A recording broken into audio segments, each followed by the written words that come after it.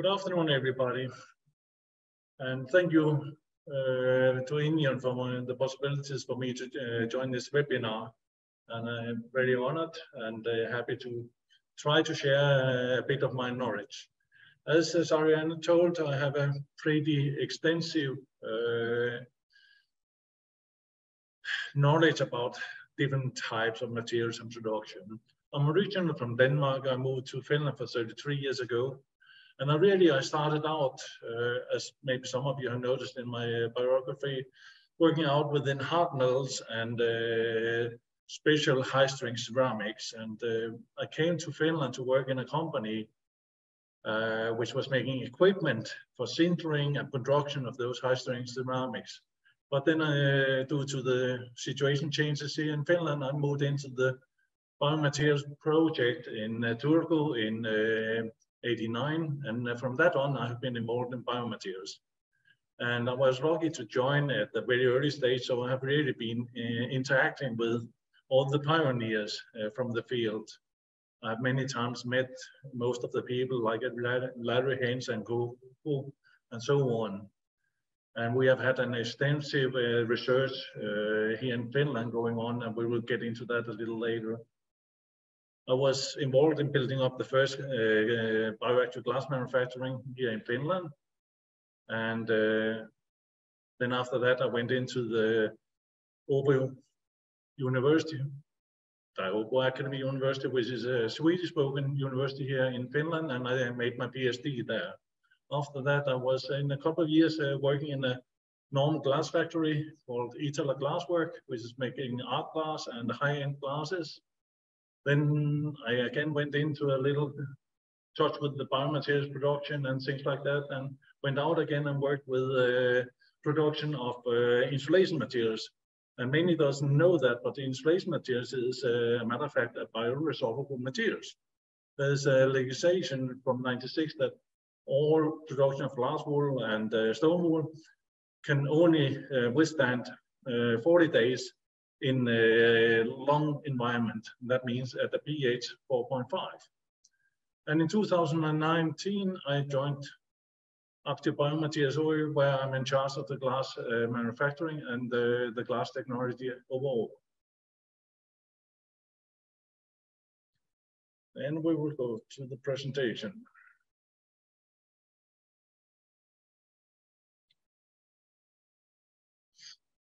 Okay, in this presentation, I will try to cover a little about the history of bioactive glasses, uh, both abroad and here in Finland.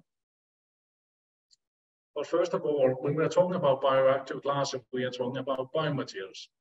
And really, biomaterials, they can be uh, divided into three main categories. The first is, of course, the inert, which is the most common used, like titanium, aluminum oxide, zirconium, mostly for different type of implants and uh, so on. There's also polymers, which is used uh, for different things. Biodegradable and bioactive, they are then more or less similar materials uh, regulated from the same part.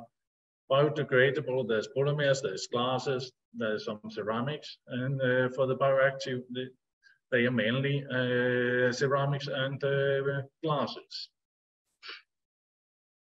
What is special about biomaterials if we uh, look at them compared to uh, others, and especially the bioactive materials, they are that they have a certain surface reaction.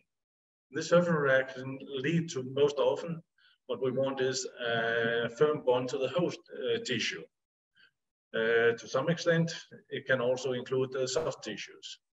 Many of those bioactive Materials you find as a calcium phosphate, a hydroxyapatite, uh, glass ceramic like the Kokubo glass, AWG glass, and there have been some other also developed. And uh, then of course a normal type of glass, let's say in that way. If we are looking at how the different biomaterials or bioactive materials that react, often the bioactive glasses are the most fast glasses to, to react. And we'll come back to that a little later. Then we get into the glass ceramics. They're a bit slower.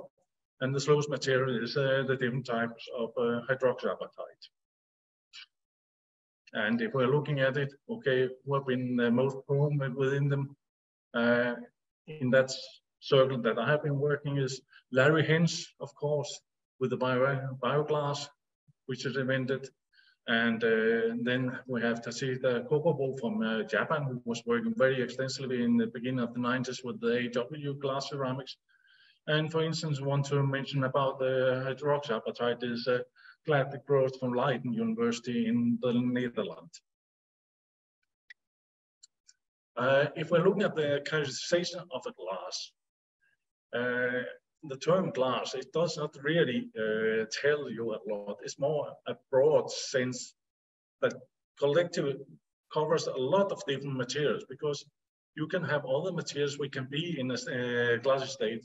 There's some polymers, but you're also talking about glassy metals. Uh, and that is very fast quench metals, and they really uh, behave like a glass. You have also glassy carbon, the way you are making uh, carbon fiber and so on. And uh, so many times when you're talking about the glass, it can also be uh, something else than what we are namely thinking of as a glass, a drinking glass or something like that. If we're looking at normal glasses, what is the raw materials that is used? It's sand, it's a silicate quartz that is the main component in many of the glasses. You have also other type of glass which is um, based on calcium phosphate. So you have calcium phosphate glasses. Then you have soda. It's a uh, sodium uh, carbonate. It's really the same material, material as you use in the, uh, your kitchen as uh, the soda that you're using when you're uh, cooking. Then you have limestone, lime, calcium carbonate, you have uh, potassium, and then other components, depending on what type of glass you're making, if it's a window glass or if it's a drinking glass or if it's a crystal glass or anything like that. Now this here was mainly for the normal glasses. Uh, bioactive glasses, they differed to somewhat from this here. Then uh, we are talking about the blend. And uh, sometimes in uh, England, you also, in English language, you also hear some people talking about mengen, which is from Swedish, and it's really coming from the German word gemengen. And it's really just the mix of the raw materials which you are melting into the furnace for some 10, 12 hours.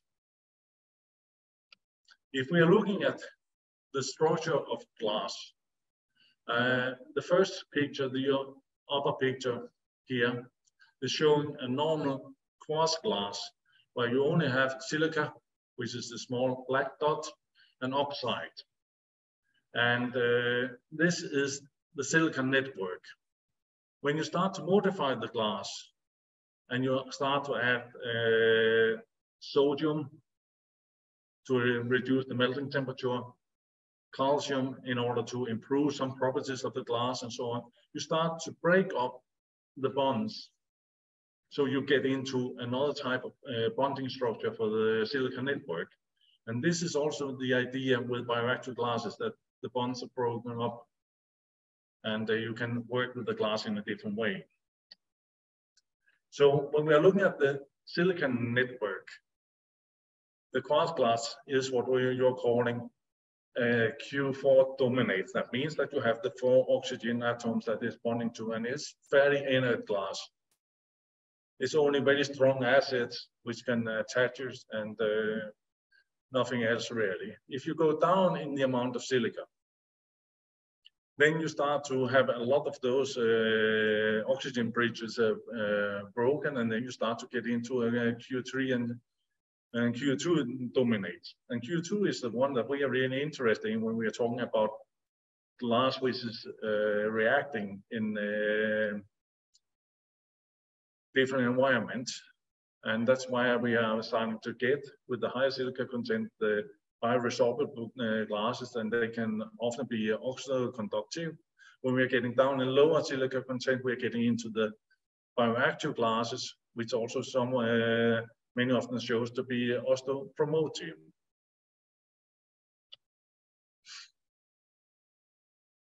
So the bioactive glasses, they are really designed for giving a special biological activity. So you trigger the environment to and the cells to believe that this is something that we can work with. And uh, to say it strongly also, it, it can be say it's an intimate between something which is 100% resolvable and something which is uh, bio-inert. So that's very, if we are looking, now we're coming into the history. Really, where did we start? It's really started with Larry Hench, if we're looking at the, the bioactive glasses. There have been some glasses ceramics before that, and the drugs started before that, but really way back in around 1966, 1967, Hench started to work with this uh, bioglass. And the history beside, behind it, he, I was so lucky to work with him several times in the laboratory here in, uh, in Finland. And I also visited him and his wife, June Wilson Hench in uh, London. And we was invited home to them. And uh, there, uh, Larry told the history behind uh, how he developed this here. And it can also be found in a different publication around. But uh, he was in uh, mid 60s involved in uh, some different army project, and one was developing special glasses for storage of uh, atomic waste. And there was uh, there was a colonel asking him uh, why couldn't one develop some materials which could help them to help their boys which was wounded in the Vietnam War and so hence he really got this miracle, as he said himself, to get different chances at one uh, time.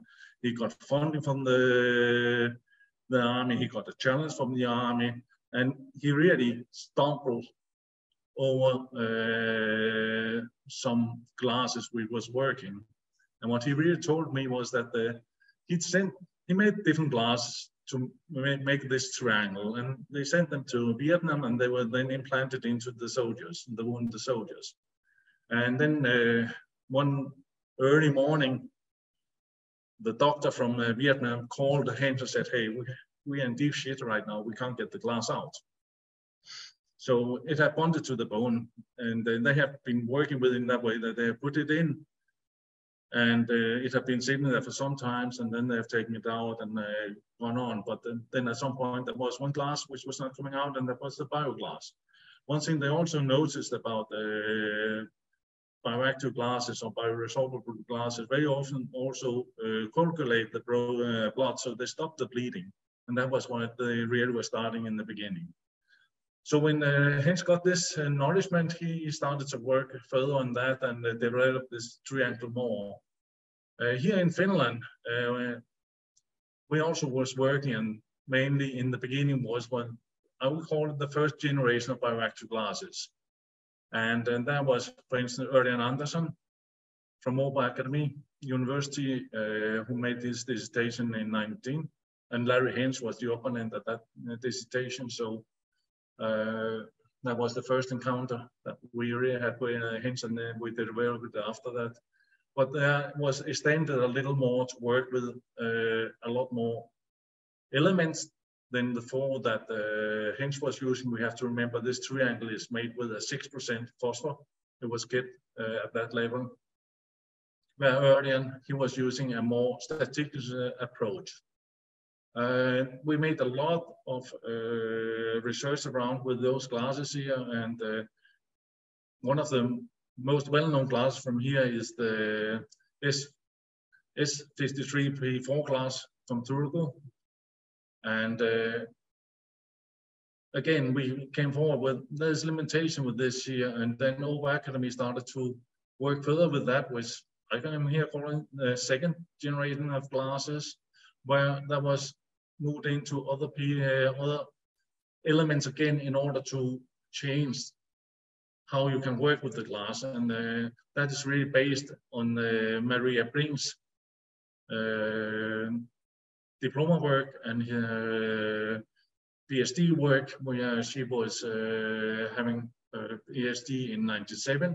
And the opponent there was uh, Paul Ducheyne.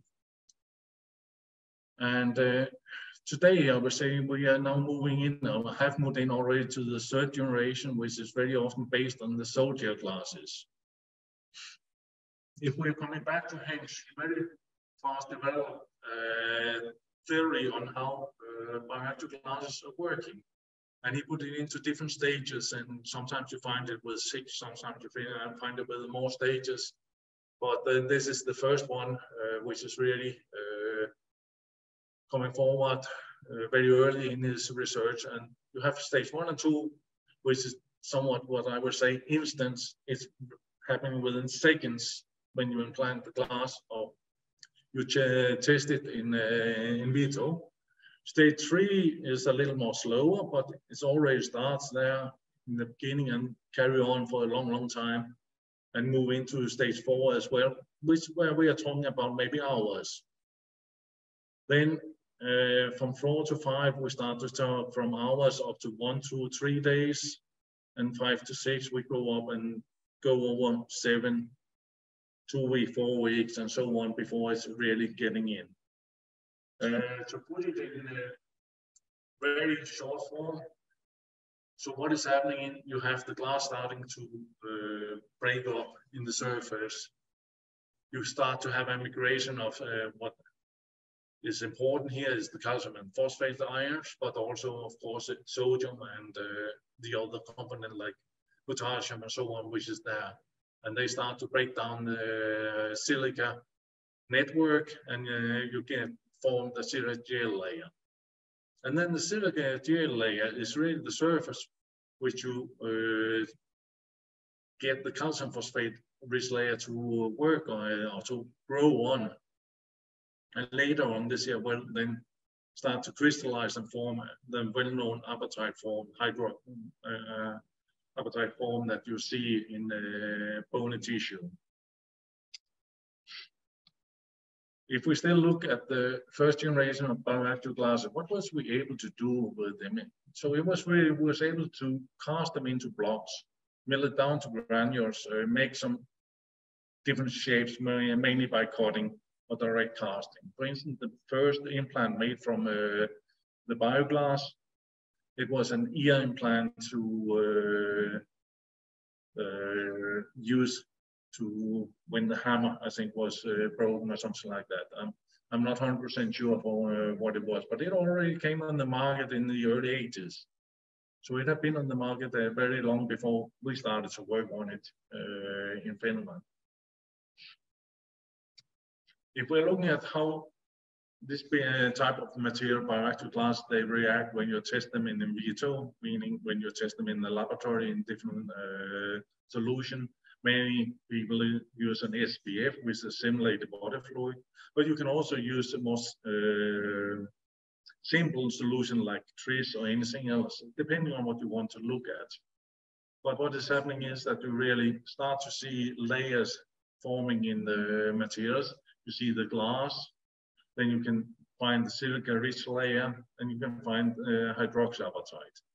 And uh, I've heard many people when you're looking at things like that, that they're very saying they're weak materials, they're cracking. But we have to remember that all the slices, all the samples that we take out and put into a scanning electron microscope or histological slice, they're dried out. And what is happening with the silica gel when it's drying is contracting a lot. And so therefore you get a lot of artifacts in the crack there. So it can sometimes be difficult to judge if the material really is strong or if it's weak because uh, when you dry it out, you change the structure of the uh, of the hydrolyzed silica gel. And again, uh, general for all type of biomaterials, but basically bioactive glasses is that when you implant them in the bony tissue, then you again get the same reaction layer. You get the glass, the silica rich layer, you get the calcium phosphate and you get a very firm bond from the calcium into the bone. And then many people uh, have been wondering, why are we uh, getting this firm bond and why is happening in that way? And, uh, and then uh, I was told by a person, a professor from uh, New Zealand, Tom Curtis, that what is really happening is that um, when you have the cells around that, the osteoclast cells, they're really a calcium phosphate pump.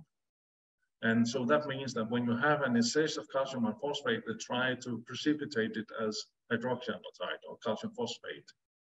And then again, if you're looking at juvenile bones, that means bones from uh, growing ch uh, children. Uh, it's very often misunderstood that the bone are not growing from the middle, but they're growing from the end. And uh, if you look at the growth zone there, it's really happening on the silica layer, which is in, uh, in children. So that's explain a little about uh, how bioactive glass interfere or interact with the environment with, and with the cells around uh, the implantation site.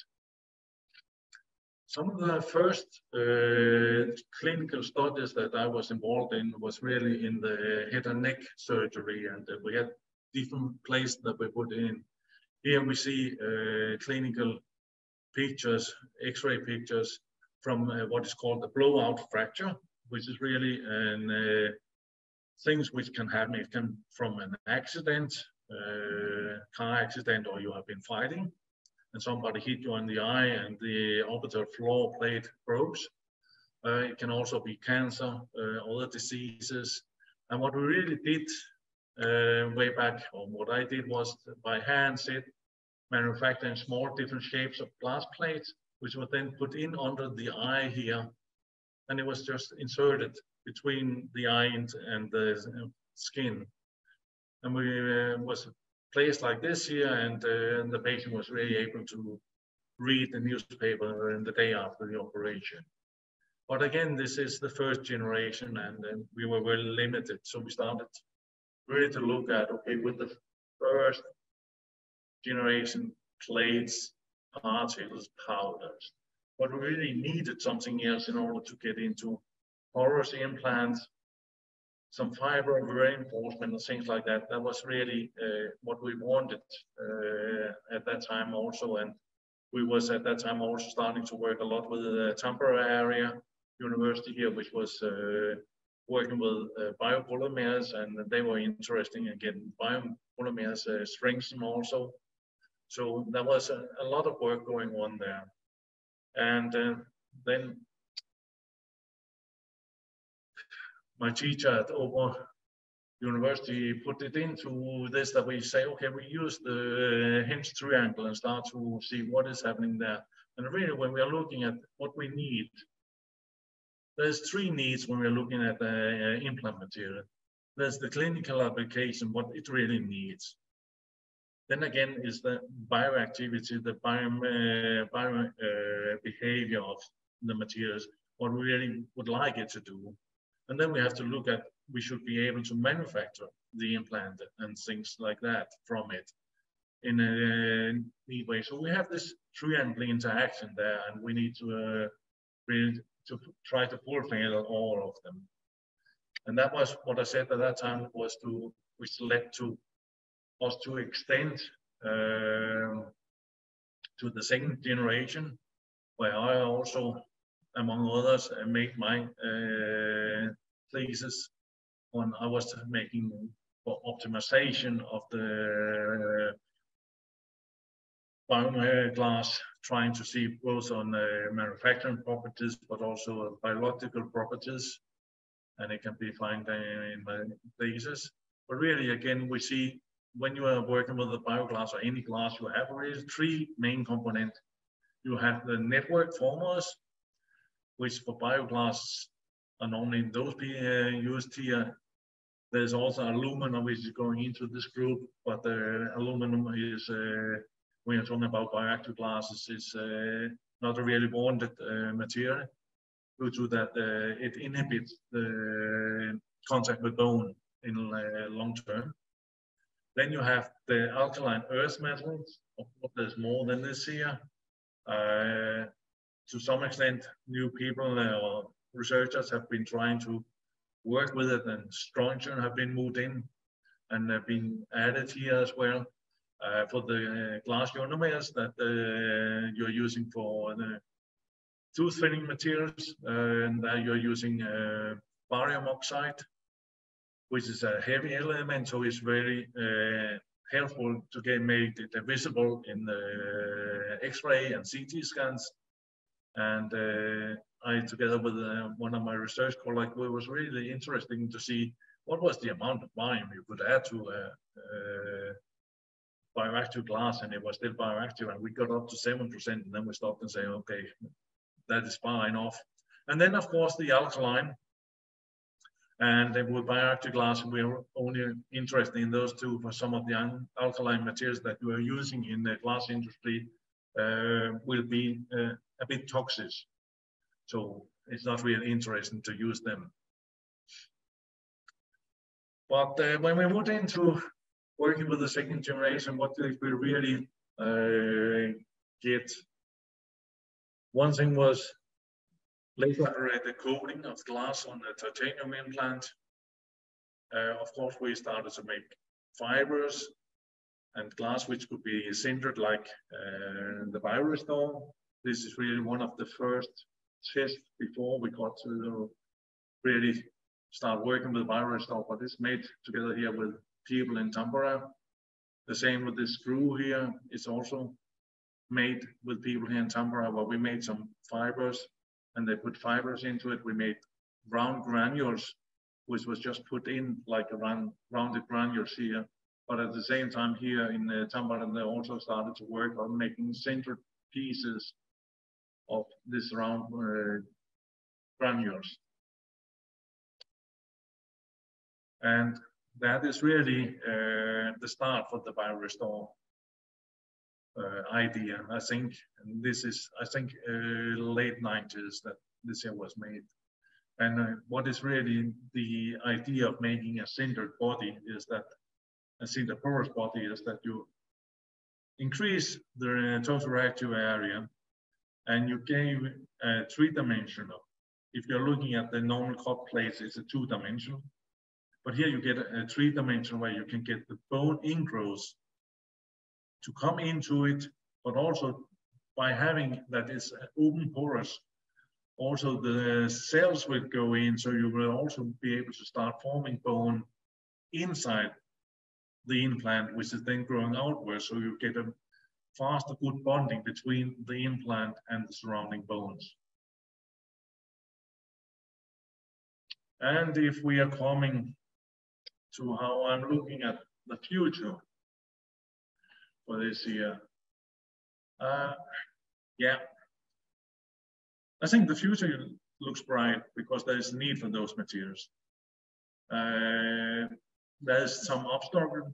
Uh, I think we'll be continuing quite a lot the way that we're going today. Uh, new bioactive glasses, there might come some up uh, through research, but to get them into clinical use is a long-term journey and it's getting longer and longer all the time. In the beginning, it was a little bit faster, but today it's really many years one have to go through all the things. Then we are talking about the composite materials of polymers and uh, glass or polymers and ceramics and things like that. And I think that a lot of the, those things have already been uh, explored and some smaller development will be made there, but uh, I don't think that there will be any huge leap there either. Uh, the huge leap will come from the sol-gel glasses because of uh, the way that you're making a sol-gel. You can make different uh, structures, you can make uh, different surface structures and things like that. You can really uh, play with the sol-gel to a different part and there you will really start to be able to move into tissue engineering uh, in a little better way than you can do with the normal biomaterials that we are working with. And until now, until today, what I have understood is that the soil materials, they are mainly grown within the uh, tissue engineering, but a few have come and uh, I know there's been some work done with uh, titanium sol gel coating on titanium implants, and they have been shown that there's a good possibility that they are bonding to both bone tissue and soft tissue. So you will be able to have an improvement there, but bacteria will not get in through the surface area where the implant is in contact with the, the soft tissue. And then, of course, one thing which everybody is talking about is 3D printing. And I see also uh, huge possibilities for biomaterials move into the area of 3D printing because we already have been working with the different types of materials within 3D printing for a long time. The first 3D uh, printer that I saw was way back in the middle of the 80s, which was done where you were really curing a solution with a laser.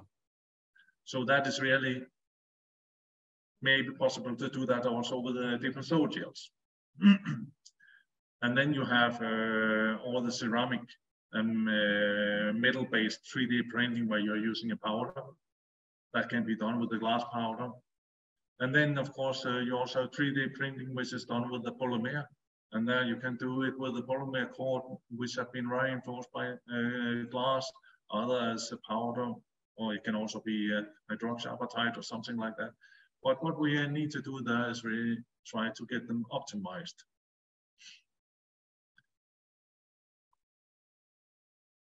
And then moving on to my last slide. I want to uh, thank you all for listening to me here. And I also want to thank all the people that I've been so lucky to work with through the years and all the input interaction I've got from them. Because without all that different interaction, in the uh, research environment, we will not have been able to go so far as we have uh, been today. And uh, I'm very thankful over being able to have been able to work in this society for so long time and been uh, able to meet a lot of very important people within this area. So thank you.